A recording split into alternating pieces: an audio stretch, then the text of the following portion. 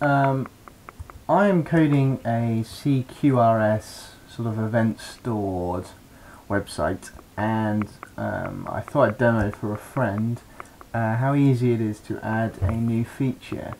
Um, quick overall, I got, for example, I got these properties here and I want to store property events in this table. There's just some dummy data here I copied from the template. Um, now this uh, property is made up of events. At the moment it is only made of the um, list new property event, but when you accept applicants uh, to the property to go through the process of getting contracts and stuff, that is also an event. So that will give us the two events. Now at this moment of time there is a very simple uh, database here for properties. Um, and if we just scroll sideways you can see it just lists uh, the ID, the addresses and some extra information. Uh, and if it's accepting applicants. Now it doesn't really matter what the structure of this table is um, because we're going we're not limited with CQRS we can change this on the query side. However um, I now want to handle these events and to create a new sort of um, a new read model basically from these events. So I'm going to go into my um, properties sort of aggregate and in here I've got the read model and I've got some subscribers. I've got MySQL property subscriber which I'm not happy with the name of because it doesn't it doesn't it's not valid now when I add this second class which is going to be called sort of property events. Uh, call it a subscriber. I'm not sure whether it should be a subscriber or handler.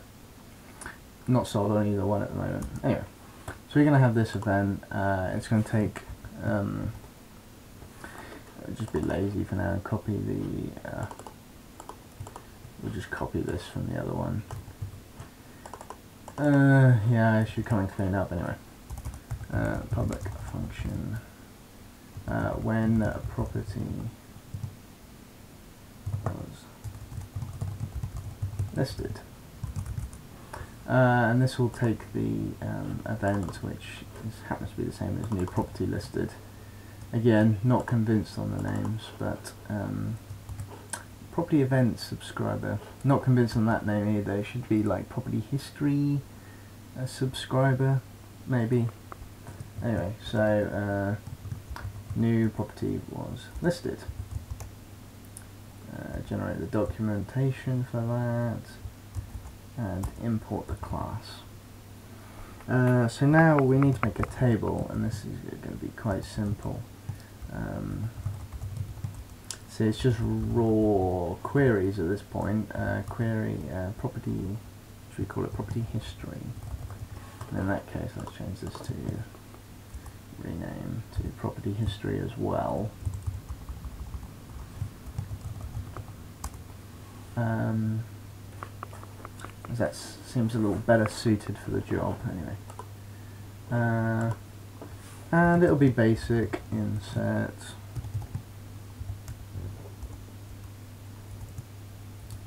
um, I suppose the ID can just be auto generated um, or we can just do ID. It's, it's good to have a. Uh, I, I always think it's useful to have a. Um, uh, ah, crap, that's why. Sorry, I have. Um, in other applications, it's just called UUID. Uh, when I came to do this application, I um, change. Normally I use stuff like property ID or user ID or contract ID, but as it's not really relevant, I just need to randomly generate one. That will do. Um, so possibly the event uh, event name should be uh, property new listed uh, I'm sorry I can't spell created at and I hope I've got an event here for. I might not have it, and that might be a real bummer. Listed at, that's why. Listed at. Um, that object is a datetime object which actually will have a toString method on, so it's fine. Um, and I think that about covers it up. Uh, we have another event which we will do just for the sake of it when property accepted applications. Uh, this is when a, a tenant can um, submit an application to uh, get a contract from the landlord. Um, and I can't remember the name of this event either. I don't code in this code base enough. Um, property accepting applicants uh, applications. There you go. And this is basically going to be a copy and paste of this crap. And just and the is going to be different as well. Uh, come on, IntelliSense. Uh, there we go. Um, property. Um, as you can tell, I cannot spell. Hence why my code base is full of errors. Um, anyway. And we'll just refactor that. That's why PHP Storm is a godsend for dyslexic people. And this is where we have to add the Laravel magic, which I love this annotation. It's the only annotation I like in the code base. Um, but um, it's good. I like it. It's quite useful for me. I'm not too convinced on this changing from slashes to dots. In this case it sort of gets a little annoying. Uh, in this case it's exactly the same except the event, uh, or the same namespace but it's now new property listed. Now, we've now created these two handlers. We're going to run into a bit of a problem. If I now go into uh, terminal, do I have terminal in? No, let me just swap that in um, into this screen. This is my smallest screen for a better image. Um, I have a command here, it, it's, it's quite bad. Basically what we're doing is a migrate refresh which is going to completely destroy the database and then make it new. That doesn't matter, we're using CQRS, we can rebuild from the events, so that is a totally safe operation to do in production, development, whatever. Uh, then I'm going to replay the user events, the uh, company events and the property events. Uh, I will eventually code this into one command that reruns all the events from the event store, um, but I can get around to it. Yeah. And it's just reminded me that that's not going to work, because we did use Laravel for this, but we didn't add it to the um, events provider. I recommend you use the um, the annotation provider for uh, Laravel because oh, it's so useful. Uh, and when did this magic come into PHP? I, I love it. I absolutely love the colon colon class. Anyway, um, you're going to get sick of me doing this soon. Uh, so what we'll do is we'll just run that command. We might possibly get an error.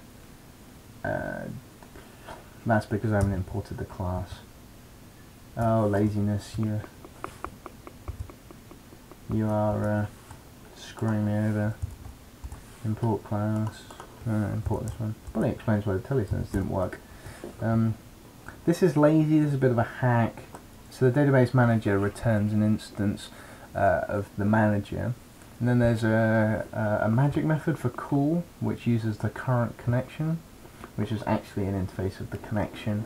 Uh, so to get the IntelliSense to pop up, which I know some people slate me for, uh, I just hacked that in. Uh, Scrutinizer doesn't like it, but um, whatever. Anyway, when I run this, I expect to get a, a database error. Nope, I cannot have that UUID. Crap. Um, for the sake of uh, getting this demo done, I will just swap to the property ID and use random. Uh, that needs to be fixed, but in it is literally just to get this to work. Um, we're going to get a database error. There you go. Cannot have property history. That is fine. Uh, we'll just copy that because why not? And then we'll do PHP artisan make migration uh, create uh, property. I didn't paste. Damn it. Property history table. So we'll create a migration for that. Um, so if we go into the database, feel free to comment as well on this. Um, any of the code, I'm, I'm well open for suggestions on how to improve. Um, don't need both, that we just need the timestamp for created at um, people shouting at their screens. Event name, that's the only one. Other one we had, table dash string event name. And just to make sure, see this is a problem with being dyslexic, I have to uh, use copy and paste ridiculous amounts just to make sure I don't make silly little errors. Now, if I now go into my uh, terminal, I should remember it's to the right, and rerun hopefully we will get no errors. Haha. um, now if we open Sequel Pro and refresh we'll have another table called property history and we can see in here we've got new property created for each of these properties and damn I forgot to list the property ID. What an absolute noob. So I will fix this. I was going to say that was about to conclude but it doesn't. So we will just copy this in, property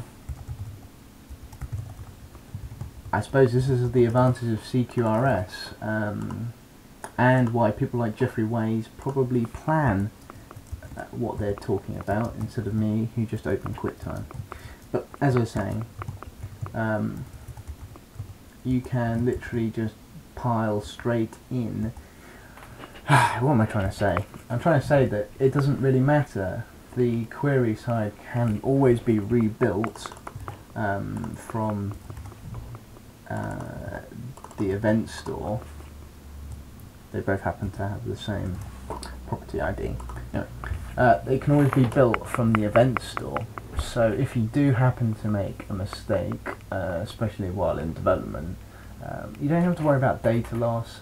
Uh, it's a little annoying when you're developing in local environment and you make some sort of breaking change to the schema or the structure of your sort of domain and you have to lose the data. Uh, I know you can use seeds and stuff to fill it up, but this way I've still got those events. Now I might need to go and remove them or edit some of the events, um, but I still have the flexibility to sort of do this dump and rebuild the whole database from the event store. So if I now go to Sequel Pro and refresh this table, we can now see we've got the property IDs. Just like that, um, you, you, saw the refresh there. Um, now this is so powerful. This means, for example, you can go through and the contracts can be quite complicated and have quite a lot of events, but I can very easily construct a company uh, a contract history table. Now I've also noticed that the naming convention has now changed and I should have probably used property histories which doesn't really make sense, but it doesn't matter. This read model can change and be destroyed and recreated from all of the events I have in my event store. Um, I'm using Greg Young's geteventstore.com application for that. But yeah, I think this is enough to conclude my little demo.